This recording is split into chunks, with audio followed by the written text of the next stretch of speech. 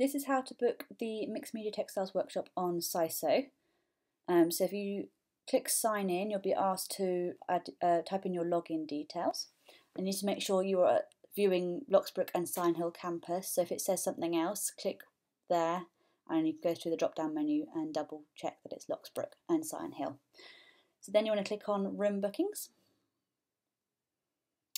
and you want to search the room. So the room number is WK1.02 and then hit enter.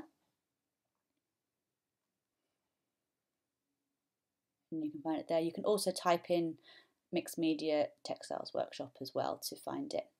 So whatever one you remember. So if you click on book, you have to give two days notice. You need to book two days in advance. And then you want to select the start time on the day you want to come in and then the time you want to leave. So I'm doing 9 till 12. Click continue.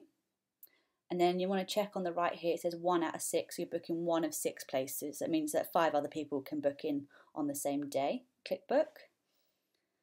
Your name will come up where it says booked to, and then in the booking notes, if you can type in what you want to do, so I know that I can check I've got the materials in for you, or if you need the needle punch, I can let you know if we can do it or not.